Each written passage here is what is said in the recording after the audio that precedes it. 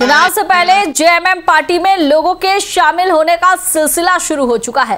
रांची विधानसभा के विभिन्न क्षेत्रों से युवा मोटरसाइकिल जुलूस निकालकर आज झारखंड मुक्ति मोर्चा के राज्यसभा सांसद डॉक्टर महुआ मांझी के आवासीय कार्यालय पहुँचे और झारखंड मुक्ति मोर्चा का दामन थामा।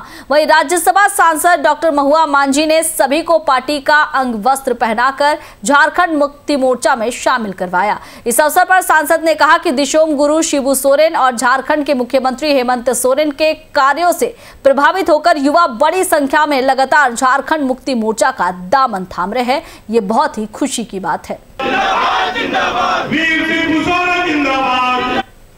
पार्टी को आने वाले विधानसभा बिल्कुल देखिए आने से पार्टी को ही मजबूती मिलती है और जिस तरह से आ, गुरु जी के दिशा निर्देश पर हमारे आ, मुख्यमंत्री माननीय हेमंत सोरेन जी लगातार काम कर रहे हैं युवाओं के लिए, महिलाओं के लिए, बुज़ुर्गों के लिए। उसे देखते हुए लगातार इस तरह की ज्वाइनिंग हो रही है, पूरे झारखंड में। और आज ये उधार युवक इस पार्टी का दम उठावे हैं।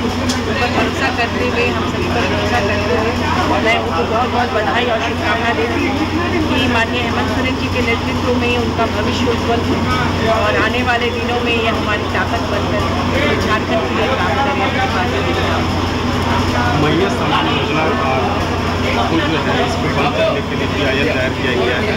किया देखिए, माननीय हेमंत सोरेन जी, जब से जनता के हित में काम कर रहे हैं, तब से लगातार भाजपा की तरफ़ से काम नहीं करने देते। कभी ईडी सीबीआई लगा देते हैं, जेल भेज देते हैं तो कभी कुछ कभी कुछ। तो अभी उनसे देखा नहीं जा रहा है कि यहाँ की गरीब जनता को वो राहत पहुँचा रहे हैं। इसलिए इस तरफ़ षडयंत्र किए जा रहे हैं। लेकिन जनता सब देख रही है। भी योजनाएँ जनता की जो उन्होंने लॉन्च की है, उसे निश्चित रूप से पूरा करेंगे। और हमारी महिलाओं को, माताओं बहनों को घबराने की ज़रूरत नहीं है।